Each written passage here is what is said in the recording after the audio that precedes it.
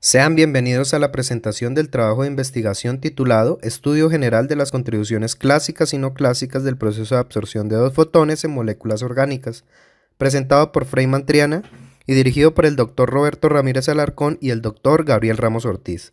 Hago parte del doctorado en Ciencias Óptica del Centro de Investigaciones en Óptica y del Grupo de Óptica No Lineal y Fotofísica. Actualmente, el fenómeno óptico no lineal de absorción de dos fotones, TPA, es de gran interés científico y tecnológico porque puede ser aplicado en diversas disciplinas. El proceso TPA es un fenómeno óptico no lineal de tercer orden que para ser observado requiere un láser pulsado que genere alta densidad de fotones. Sin embargo, se ha demostrado ampliamente que TPA se puede obtener mediante dos fotones entrelazados. Además, la tasa de TPA es una tendencia lineal con el flujo de fotones para fotones entrelazados, a diferencia de una tendencia cuadrática con el flujo de fotones para fotones no correlacionados o clásicos. El estado de dos fotones está descrito por el proceso de conversión descendente paramétrica espontánea, SPDC, y puede ser expresado mediante la ecuación 1, donde la función phi es función de las frecuencias de los modos correlacionados, fotones gemelos, conocida como función espectral conjunta, y guarda la información espectral de los fotones en conversión descendente. Pueden calcularse las siguientes tres formas espectrales.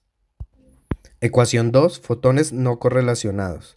Ecuación 3, fotones correlacionados con forma espectral gaussiana. Y ecuación 4, fotones correlacionados con forma espectral zinc. El experimento consiste en una primera etapa de generación de segundo armónico para ser usado como fuente de bombeo en el proceso de SPDC seguido de una conversión descendente para obtener fotones gemelos de 710 nanómetros. Luego hay una etapa de delay donde los fotones son retrasados uno respecto al otro. A continuación los fotones son llevados a interaccionar con una muestra y su posterior análisis mediante un sistema de cuentas en coincidencia donde se obtiene un interferograma de Hubble-Mandel. El proceso se repite usando este sistema experimental para 1 sin muestra, 2 con una cubeta con solvente y 3 con la muestra, la cual está compuesta del solvente metanol y el sistema molecular que para este caso es la rodamina B. Es de destacar que para que el proceso de absorción de dos fotones se pueda dar, es necesario que los fotones implicados en el proceso tengan una separación temporal menor o igual al tiempo de vida del estado virtual de la molécula. De lo contrario, la molécula no puede ser excitada y por consiguiente decaería al estado basal. Se presenta una simulación de los tres tipos de estados obtenidos al modificar la forma espectral de la función espectral conjunta.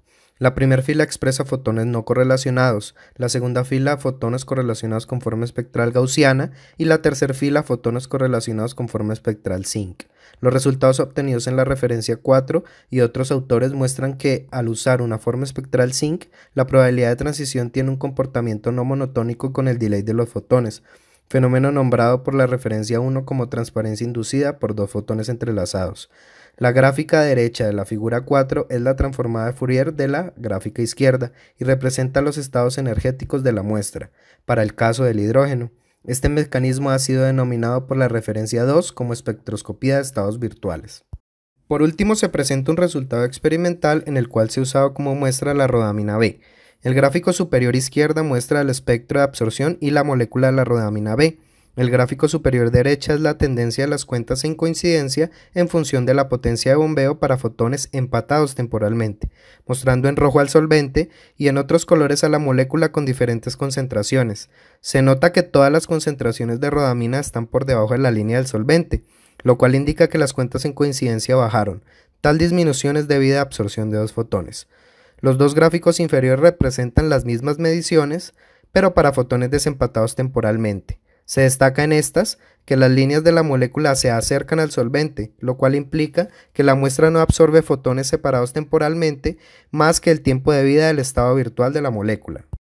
Se concluye, basado en las simulaciones y referencias, que la mejor configuración espectral de los fotones para este tipo de experimentos es fotones con forma espectral zinc. La importancia de la forma espectral de los fotones yace en la posibilidad de acceder a la información espectroscópica de la muestra. La tendencia de las cuentas en coincidencia en fusión del bombeo es lineal, como predice la teoría, y hay un apagamiento en la señal de TPA cuando los fotones tienen un largo delay de separación. Mi nombre es Freyman Triana y esta es mi información de contacto. Gracias.